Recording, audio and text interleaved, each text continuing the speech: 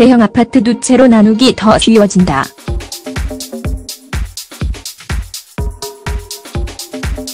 이미 지어진 대형 아파트 한 채를 두 채로 나누는 이른바 아파트 세대 구분 사업의 법제화가 추진돼 주목된다. 세대 구분 사업은 최근 대형 아파트 가격 하락을 막고 남는 공간을 활용한 수익 창출이 가능해 수요자들의 관심이 급증하는 상황이다. 문제는 그동안 세대 구분이 법적으로 명백하게 허용돼 있음에도 불구하고 관련법 규정이 미비해 시장에서는 합법이냐 불법이냐를 둘러싼 소모적 논쟁이 자주 불거졌던 것. 이번 법제화가 시행되면 세대 구분 사업이 더욱 탄력을 받을 것으로 보인다. 이일국토교통부에 따르면 국회 국토교통위원회 소속 더불어민주당 민홍철 의원, 김혜갑, 은, 최근 세대 구분형 공동주택 제도를 기존 공동주택에도 적용할 수 있도록 하는 내용의 주택법 일부 개정안을 대표 발의했다. 이 개정안에는 황희, 주승용, 황주홍, 이계호, 노웅래, 윤영일, 최인호, 박준영, 이훈, 강훈식, 이등걸, 윤후덕 의원, 무순 등이 공동 발의자로 참여했다. 국토부 역시 최근 2018년 업무계획을 통해 주택법 개정안이 통과되면 시행령도 정비해 세대 구분 사업을 좀 더 수입게 진행할 수 있도록 할 방침이라고 밝혔다. 세대 구분 사업이란 기존 아파트 한 채를 독립생활이 가능한 두 채, 약간 큰 집 한 채와 작은 집 한 채로 개조하는 것을 말한다. 각각의 집에는 별도, 현관문, 주방, 욕실, 경계벽 등이 설치된다.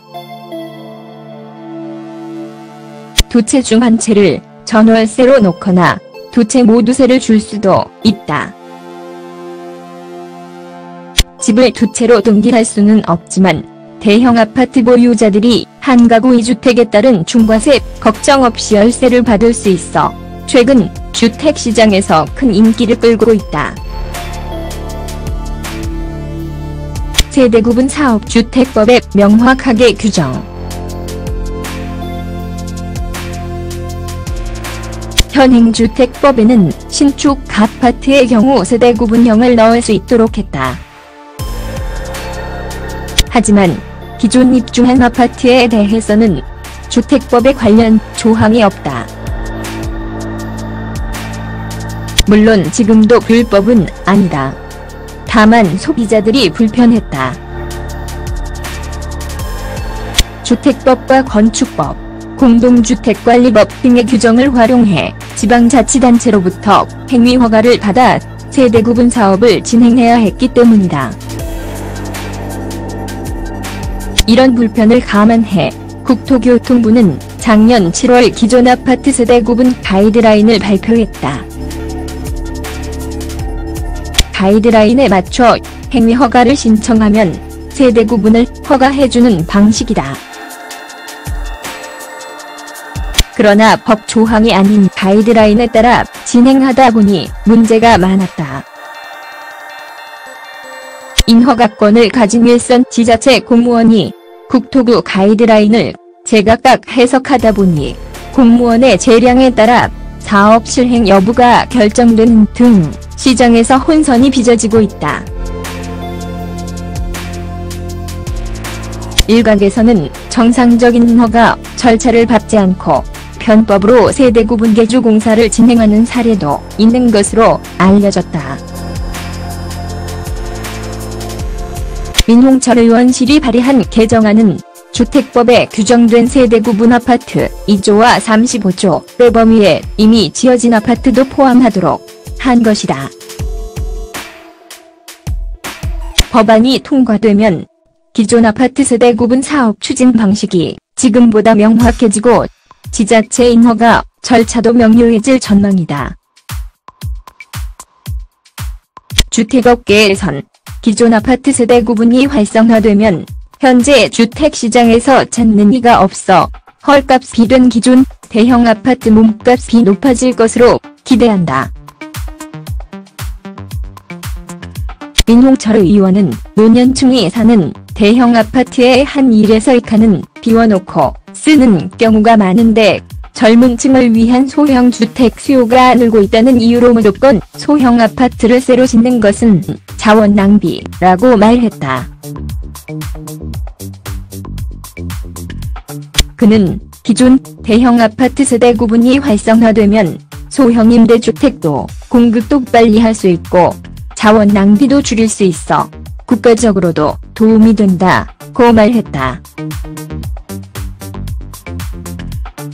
주택업계에선 기존 아파트 세대 구분 사업이 활성화하면 노년층 소득 보장 효과도 있을 것으로 기대한다. 현재 16 고갈호 19호 공평 이상 대형 아파트는 대부분 장년층과 노년층이 소유하고 있다.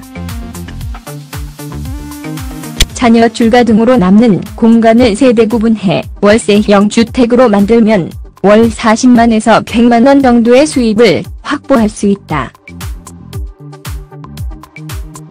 민 의원은 기존 아파트 세대 구분 사업은 대형 주택을 노년층과 젊은 층이 공유하는 일종의 한국형 주택 공유 사업이 될 수 있다고 말했다. 주차난 걱정. 대부분 단지는 여유 공간 많아. 청년층을 위한 임대주택을 빠른 시간 내에 확보해야 하는 국토부도 이 법안 통과에 적극적인 편이다. 이유리 국토부 주택건설공급과장은 주택법 법안이 상반기 중 국회를 통과하면 시행령을 만들어 올 하반기에는 법안 개정 작업을 마무리해 기존 아파트 세대 구분 사업을 활성화하겠다고 말했다. 국토부는 현재 가이드라인 기준 가운데 과도한 규제는 다소 완화하는 방안을 검토 중인 것으로 알려졌다.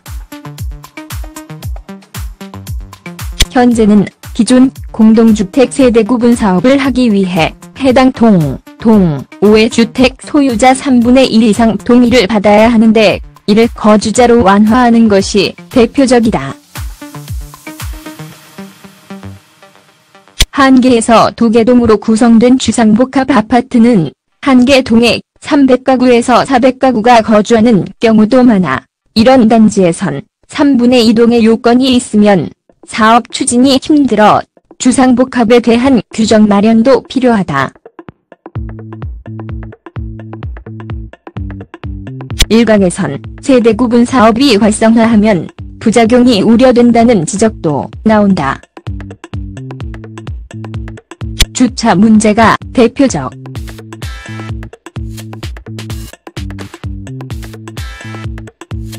하지만 세대 구분 사업은 최소 40평 이상, 일반적으로는 50에서 60평대 아파트가 대상이다. 이런 아파트 단지는 가구당 주차 공간이 2대 이상 확보된 경우가 대부분이어서 주차난이 발생할 가능성은 거의 없다. 종합인테리어 회사인 언론투게더 최한휘 대표는 세대 구분으로 생기는 세입자용 주택의 경우 대부분 청년층이 살기 때문에 차량이 없는 경우가 많다면서 필요하면 차량 공유 서비스를 활용하면 문제가 없다고 했다.